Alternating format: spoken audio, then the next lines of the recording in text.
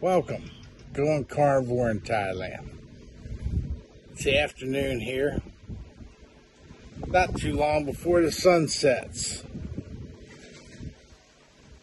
Well, last night Noy had another one of the low sugar hypoglycemic episodes, which I sort of saw coming because she ate too big of a meal, I think. Or is the evidence not proving it? I don't know for sure. But it seems like if she eats small meals, she can do okay. It's being very hard to figure this out. Uh,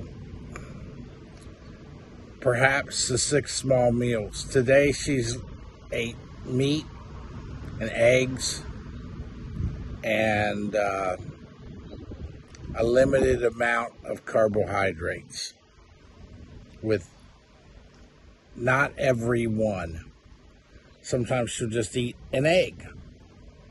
I mean, just an egg, a, a soft boiled egg.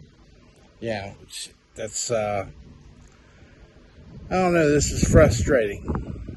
I'm very fortunate. I'm not having any issues uh, really right now that I haven't had before.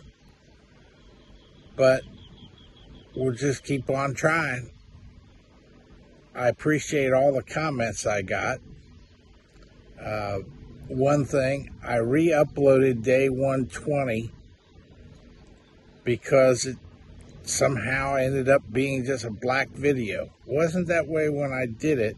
Maybe it was something on the rendering. Eh, stuff happens. This is a short one.